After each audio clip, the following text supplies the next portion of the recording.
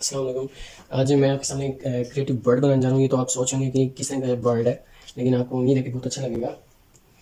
तो मैंने जस्ट किया कि सिंपल रेड कलर का पेपर लेके उसको हमने बर्ड की शेप बना ली जितना भी यानी कि बर्ड में रेड कलर था बर्ड के अंदर तो वो बर्ड मैंने बना के ट्रेस करके, यानी कि उसको कट कर लिया रेड कलर को।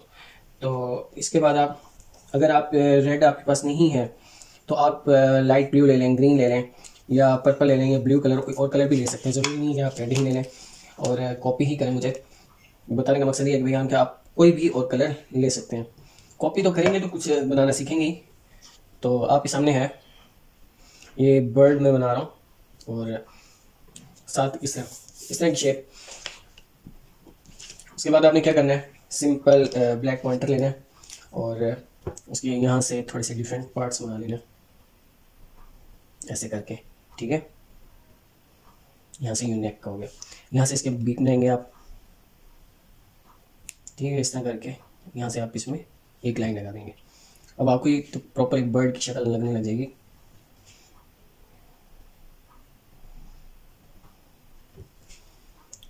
यहाँ से हम इस लाइन को थोड़ा मोटा कर देंगे। ठीक है? यहाँ से फिर दो लाइन लेंगे, बराबर में। फिर यहाँ एक और लाइन लेके इसको हम बराबर कर देंगे, मोटा कर देंगे थोड़ा। मोटे बोर्ड बोर्ड मार्कर जैसे होते हैं ब्लैक कलर के, अगर आपके पास वो हो तो उस ब्लैक कलर के बोर्ड मार्कर को यूज़ कर फिर हम दो लाइन्स यूज़ करेंगे इसमें। इस तरह यानी कि आपने करते जाना है शेप में, इसकी शेप देते जाना है।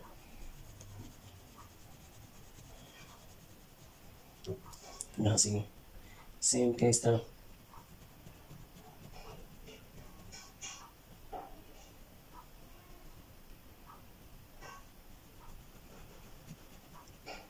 यहाँ से मैंने पे कर दिया। ब्लैक डार्क मोटा। फिनिशिंग के साथ आप इस ठीक है? यहाँ से फिर दो लाइन यूँ इस तरह यानी कि जहाँ तक ये है बर्ड का, आप इसको इसी तरह क्रिएट करें।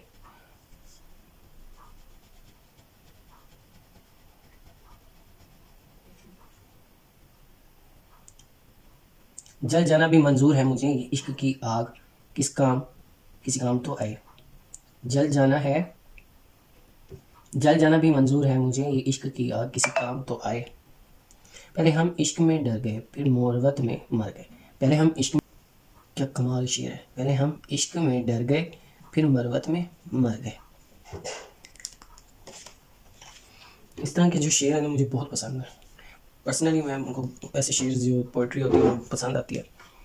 सॉरी यहाँ से हम पीछ कर करें। साथ साथ मेरे शेर भी सुनते हैं और मुझे दाद भी देते जाइएगा। ये सारी ये सारी इश्क की ही कारस्तानी है। ये सारी इश्क की ही कारस्तानी है, वरना आँखों देखा, जहर पीना बड़ी बेईमानी है। इश्क जनू है और तुम जनू में कैसे बहक गए? इश्क जनू है और तुम जनू में कैसे बहक गए? बहुत ही यानी कि मुझे पोइट्री से लगा होने लग गया। जब से भाई मैंने खुद को फील किया कि मैं एक पोइट हूँ।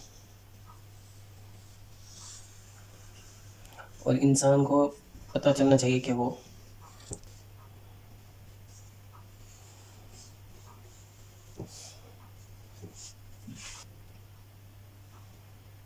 सॉरी अच्छा यहाँ से मैं इसकी आउटलाइन दे रहा हूँ, उसको प्रोमिनेंट करने के लिए ना। ताकि वो थोड़ा प्रोमिनेंट हो जाए। यहाँ से, ऐसे। ठीक है? उसके बाद एक लाइन आप यूँ करेंगे। यहाँ से यूँ वैसे तो जब मैंने सोचा था इस आर्ट वर्क के बारे में, मुझे भी थोड़ा अजीब लगा था कि बर्ड कैसे बनेगा। यूँ करके इसके बीच में आप रेड मार्कर कलर से या किसी भी क्रियोन से या पेस्टल से, किसी भी कलर से आप बीच में सर्कल कर देंगे इसका। उसके बाद आपको पता है कि जूझ हम ग्रे भी कर सकते हैं इसकी जो पीक है। Green light grey dark grey कोई भी जो कलर हो, आप उसमें कर सकते हैं आसानी से। इसमें थोड़ी सी शेडिंग दे रहा हूँ ताकि वो थोड़ा उसके जो है उसमें वो आ जाए। क्या कहते हैं अपना उसको, थोड़ी सी फिनिशिंग वगैरह देने के लिए ना, थोड़ा। थ्री टच देने के लिए।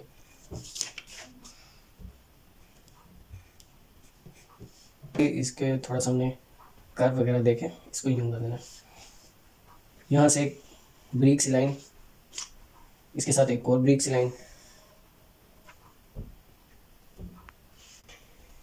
अच्छा जी, मैं आपको एक सॉन्ग सुनाने लगा हूँ। आवाज़ चाहे जैसी भी है, लेकिन आप उम्मीद है कि इंजॉय करेंगे इसको। न जाने क्या हुआ जो तूने छू लिया न जाने क्या हुआ। जो तूने छू लिया खिला गुलाब की तरह मेरा बदन। निखर निखर गई, संवर, सवर गई, निखर निखर गई, सवर सवर गई। बना के आए ना तुझे ओ जाने मन। न जाने क्या हुआ जो तूने छू लिया। बिखरा है आंचल फिजा में मुझे होश क्या है?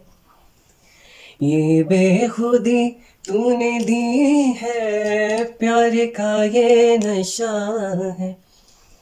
सुन ले जरा, साजे दिल गा रहा है ये नगमा मेरा, न जाने क्या हुआ। जो तूने छू लिया खिला गुलाब की तरह मेरा बदन निखर निखर गई, सवर सवर गई, निखर निखर गई। आंचल कहा, मैं कहा हूँ, ये मुझे होश क्या है?